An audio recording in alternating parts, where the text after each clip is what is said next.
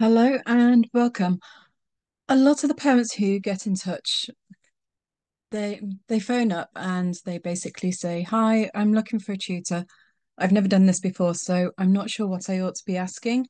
So on our Facebook page, we have um, a range of frequently the questions that were frequently asked, and my thoughts were that if I was to share them with you, it would hopefully give you an idea of things that you might want to ask when you go looking for a tutor.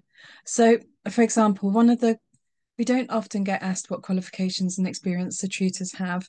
This might be because um, when someone phones, I'm inclined to kind of like say, "Hi," um, they tell me what they need, and then I kind of like say, "Do you mind if I chatter for a bit?" And then that's conversation. I can like explain my personal background and experience, and then if I'm re uh, recommending one of the other tutors, then I'd kind of like give them a bit of background at that time. But that is something that you may want to know. It may be that you are you're looking for a tutor with a specific type of experience or with a specific goal. So for example, if your child has some form of learning difficulty or something, or if they're looking to um, pass a specific exam or something, you might want to be reassured that the tutor that you're going to be working with or your child's going to be working with has the relevant experience.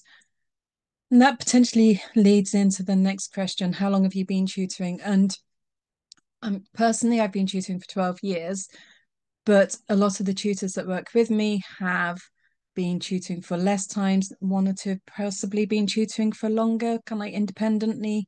Um, but it, what I would suggest is more more important rather than um, the experience qualifications, the length of time they've been tutoring is are they able to build a rapport with your child so that if your child doesn't understand something, does your child feel confident to ask? Okay, so I would put personally, I would put that above all else because it could be that you have the most the tutor with these amazing qualifications, all this experience, but when it comes to working, sorry, directly with your child, your child just doesn't, feel comfortable enough with them to ask. Or it could be that you have a tutor that hasn't been, that's quite new to tutoring, has very little experience. However, the rapport that they can build with your child, the confidence they can help your child to build, far outweighs the tutor's qualifications and experience. So think about what it is that you're looking for because that is going to have a huge impact on the tutor that you choose. This is quite important, and that is what age range do you work with, or do you work with adults? Because if you're speaking to a maths tutor, hi, I'm looking for a tutor for my son. Yep, hi, that's fine, I can help, no problem. You have this long conversation, and they kind of say, um, okay, if I can just take a few details, please. What year group is your son in? And you go, four. oh, I thought they're in year nine. No, he is nine, but he's in year four. And so before you start, make sure that you're the tutor that you're talking to is actually in a position to help because there's obviously a huge difference between working with a, a nine year old and a year nine child. So just double check that before you get too engrossed in the conversation. Where do the lessons take place? You've got three options here, pretty much. Four, three.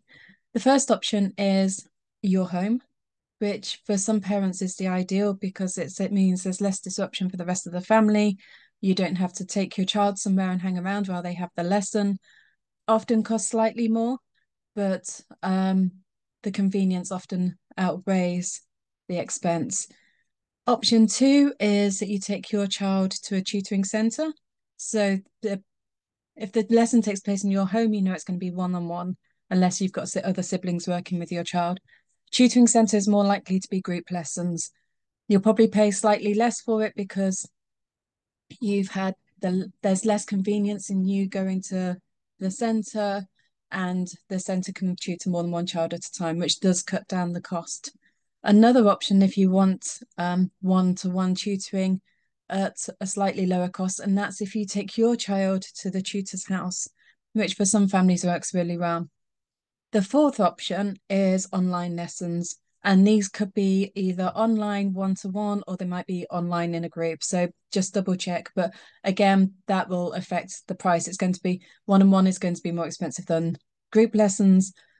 But for some families, it's more accessible, it's easier, it saves traveling, and it's just preferred option. It's often what the child feels more comfortable with as well, which is going to make the difference. So that's the next question I would double check is where are the lessons actually going to take place? How are you going to work with my child? So this, for a lot of parents, probably may not be something that I'd necessarily think of asking. But the reason some people may ask is some children don't necessarily necessarily work through work their best in a say academic sort of um, setting. So worksheets may not work for them, especially if they struggle with the reading of them or something like that. So whereas for other tutors, they may provide other um, resources, but that may not work for your child. It may be that they want the the worksheet approach to learning. So find out what the tutor's um, tutoring technique is. Um, because again, it could be something that you hadn't thought about, but you might want to consider. Some tutors only work in school term time. So if you're wanting lessons, just say over the summer holidays or something as a booster, or you want to carry on throughout the holidays, or you just want term time, that's again something that you may want to ask and check. Cost. That's probably um, a question that um, is paramount, really, because that will dictate whether or not you want to go ahead. Could be that you will pay a few recently a few people have kind of like said I'll pay whatever it takes because I'm desperate for this help. Um, but a lot of the time it is um, something that's you need to consider in the equation. And you may want to find out the difference between one to one online, one to one face to face, or group lessons or whatever. So it may be that you want to kind of like look at various different avenues. Okay, can you do it any cheaper is a question that we often get asked. Um, the answer is generally no. It could be for other tutoring um, groups that yes, they can. We do have a couple of A level students who, yes, actually, we could offer slightly cheaper, but they don't have the experience that the um, adult tutors have. Having said that, very often younger student or younger tutors are because they've just done the curriculum themselves and they're often the age of or closer to the age of the child. Primary school children especially seem to adapt well to having kind of like a teenager tutor them. They seem to see them as a friend and it goes down quite well. So it's it's something that you might want to consider kind of like an A-level student as opposed to um an adult.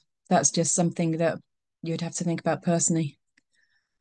Do you offer a free lesson? Do you offer an assessment? Do you offer a getting to know you lesson? We offer our first lesson free. Um, different tutors do it differently. Our lessons are always first lessons always free. Is as much as anything an opportunity to find out whether the tutor can work with the child, the child can work with the tutor, getting um, a feel for where the child is at and the support they're going to need going forward. So um, we do have a first lesson free policy. If you're not happy, then you don't have to go any further. Some tutors, other agencies or tutors would do it. There's um, a free assessment. Sometimes this can be code, and I don't mean to sound cynical, for if your child's up not up to par, then we won't be able to help because we don't want you to affect our um, pass rates. Um, so it other um, there's a whole different ra range of reasons why tutors offer the first lesson free. But for us, it is literally just so if you're not happy, there's no ties. Um, and it gives us an opportunity to find out the best way to work forward. How do I pay for the lessons? So in this instance, I mean, for ourselves, some tutors may want cash. I don't know. Out beyond Clara James, I'm talking about now. Some tutors may want cash. Some tutors may do an invoice. Some tutors may want you to pay for a bulk up front. Some tutors um, may do an invoice at the end of the month, etc.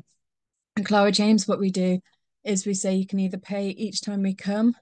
We do have an option to pay up front, and we also have the option to pay an invoice at the end of each month.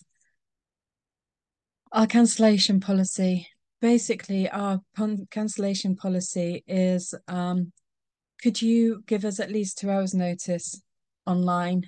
If you can give us half a day or more, if we come to your house, that's appreciated. Because then before that, the tutor will have spent time preparing, getting everything ready. And um, if we're traveling and you leave it to the last minute to cancel, it could well be that we're already on our way, about to turn up on your doorstep, and we get the message going, actually, can we not do today? And it's it's so because of this, I mean, it hasn't happened often over the years, but we have now started to implement a cancellation policy that if we have less than two hours notice online, four hours face to face, we do still have to charge for the lesson. If you need to cancel the occasional lesson, can you just give us, say it's someone's birthday next week, so you're going to cancel or something? Um, the more notice you can give us, the better.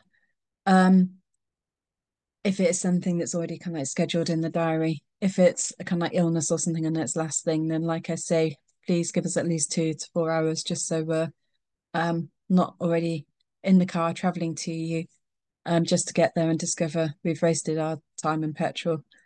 Um do we do initial assessment? I think I already covered that in the do we get uh, getting to know you lesson.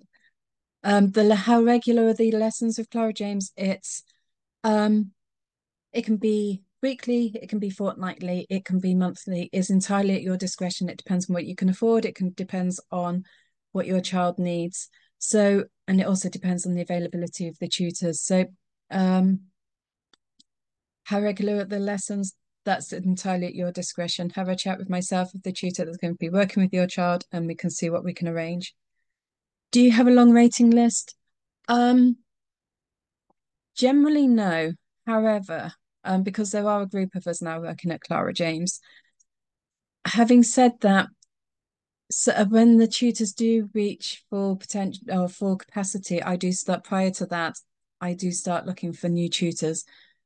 But it's taken 12 plus years to build up our reputation. So I'm not willing to take on just anyone just to be able to provide a tutor. I I do put an awful lot, lot of effort into making sure that the tutors that I do employ are the right tutors. So, how long is the waiting list? Generally, fairly short, but sometimes you may do you may have to wait a couple of weeks, a month. Are the tutors DBS checked? Yes, they are. And what do you need to provide? If we're coming to your home, we provide everything that would be needed for the lesson, apart from a calculator so you would need to provide your own calculator. Um, if face to um, online, then if you could have pen and paper, and if it's maths, calculator to hand, that would be appreciated, please. Do you provide group lessons? No, all our lessons are one to one. However, we have recently started doing um, revision courses during half terms, and potentially we might do an 11 plus one over the summer holidays. So that's the case. If it is something that you might be interested in, drop us a line and ask, and um, we can provide you with details if we've got anything on the horizon. Finally, um, who wrote our testimonials? Every single testimonial that we put out there is genuinely true and authentic. Nothing's been put together by ourselves. Um, and the testimonials that we have mean an awful lot to me because we work really every single one of the tutors and I work really, really hard to make sure that we do our very, very best. Like it says at the bottom of the screen, if you've got any questions, please do drop me a line and ask. The email address is info at clarajamestutoring.co.uk. And um, any questions, please do ask. I look forward to speaking to you soon. Take care and have a great afternoon.